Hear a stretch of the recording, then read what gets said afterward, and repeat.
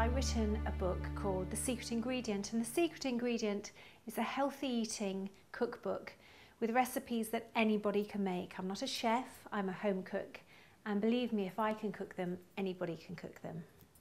I wrote the book because a few years ago I suffered from three heart attacks completely out of the blue, and I was left with a lot of heart damage and not a very positive prognosis for survival. And I realised very quickly that the food that I ate had an effect on my health. At the same time, I had three young children at home and I wanted to make sure that I could make really family fun, tasty dishes that would entice the children and me and the rest of my family and friends, but still be healthy.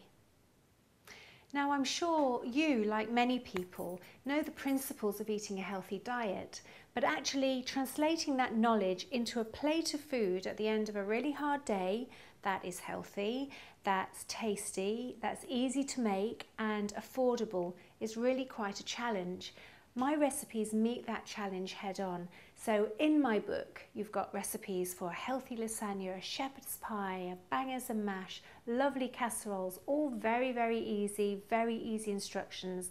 I've also got some really delicious, nourishing desserts in there. You're certainly not going to feel like you're depriving yourself, and in fact, you're going to feel like you're treating yourself.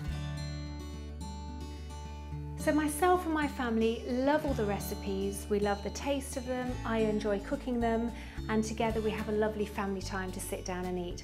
I hope you enjoy them just as much and I hope you get out of them just as much as we do.